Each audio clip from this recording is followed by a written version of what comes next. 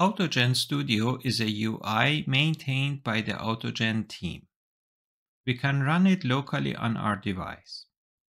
In this tutorial, we will add a new skill using AutoGen Studio to store some nodes in Obsidian.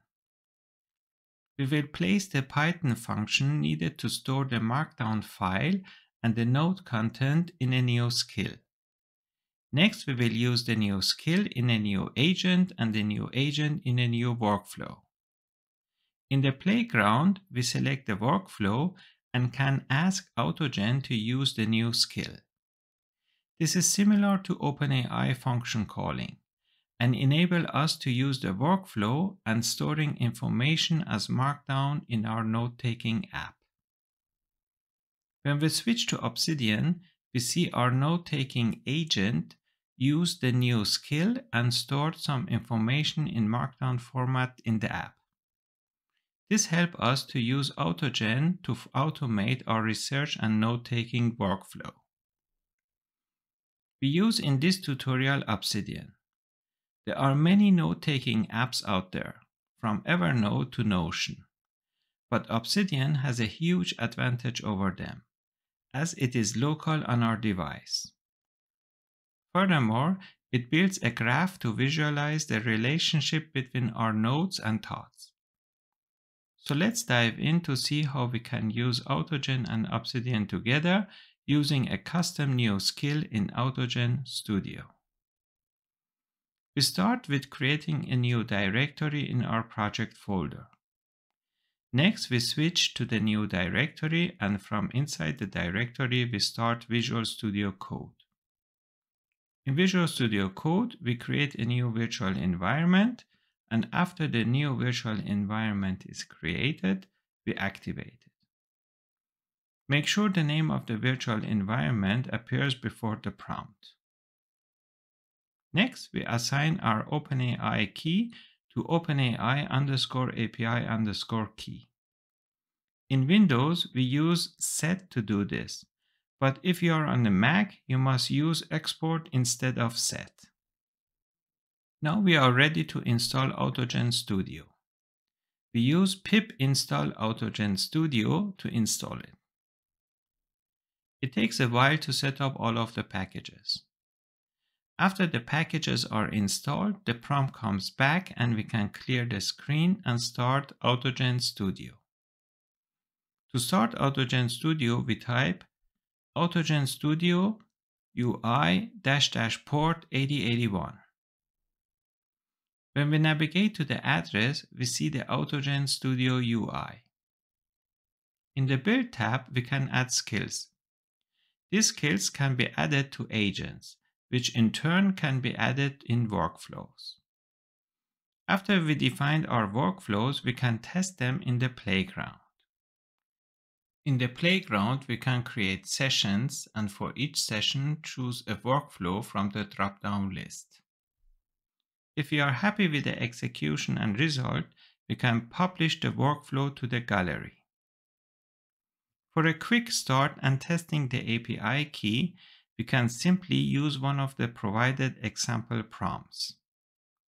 Here we choose the markdown prompt which sends List out the top 5 rivers in Africa and their length and return it as a markdown table.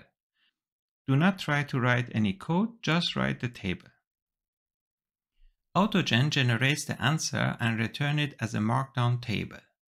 Although we can publish this to our gallery, we want to add a skill to AutoGen to store it in our note-taking application Obsidian, which acts as our second brain. As mentioned before, Obsidian is one of the best and most popular note-taking apps, and with a very active community behind it. This community has written more than 1,300 plugins for Obsidian, from to-do and calendar plugins to Kanban and mind maps. You can learn more about Obsidian using the Obsidian help.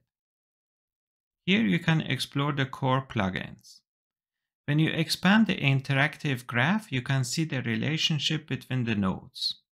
You can hover over a node to focus on the relationship of that particular node, or click the node to see the underlying information. You can search for Zettelkasten or PKM for personal knowledge management to learn more about this subject.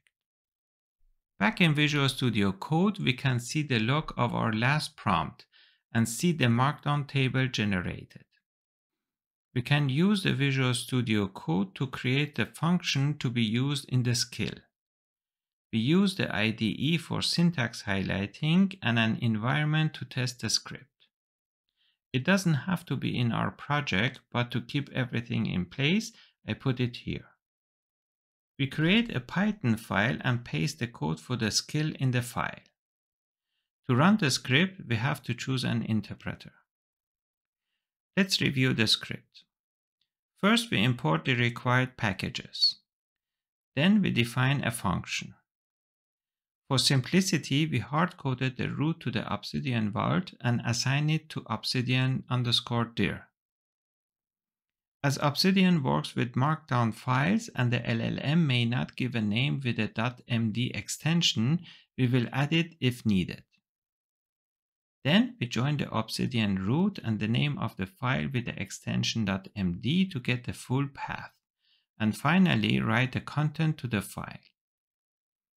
We can test the function and run the script with test as file name and a simple markdown string as content. When we switch to Obsidian, we see the extension is added and the file is listed in Obsidian. The markdown is rendered and we see a bold and a highlighted part in the string. We can switch to the source mode and see the content of the file. Back to Visual Studio Code, we remove the part to call the function and copy the rest to be used in our new skill. In AutoGen Studio, we navigate to Build and add a new skill. We delete the sample skill and paste our custom function. We can simply use the function name as the name of the skill and save it. Next, we add an agent. We name it Note-Taking Agent. This name is important as we will use it in the next step in our workflow. We give a description and add the new skill from the drop-down list and save the agent. The next step is to define a workflow. We name it Note-Taking Agent Workflow and give it a description. Here is important to use our note-taking agent as the receiver. The sender is the user proxy. We add the skill and save the workflow. Now it's time to test the workflow, so we navigate to the playground. Here we still see our last session and the list of the African rivers. We create a new session and select the note-taking agent workflow from the drop-down list. With the new workflow selected, we enter the prompt, list out five OpenAI models and their context window in a markdown table and store it as a note in Obsidian. Store each model as a note too. Going back to the terminal in Visual Studio Code, we can see the communication under the hood. But as we have now the AutoGen Studio, we have a much better user interface. We can see the steps and result in the much better way.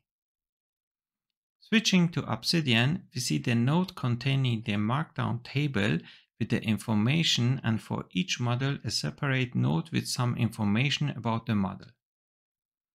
We can rename DALL-E and change the cell in the database. It is very easy to create a link to an existing node. Back in DALL-E, we can create a link back to the table. When we open the graph, we see a relationship between the table and the DALL-E node we have started to build our second brain. We can click on the nodes in the graph to get to the node itself. This is the beginning of our Personal Knowledge Management or PKM. We can surf the web and find more related information and extend our knowledge and our table.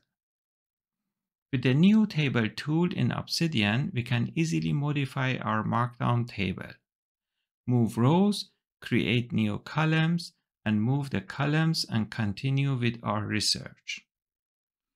I highly recommend taking the time and build a clean, organized second brain.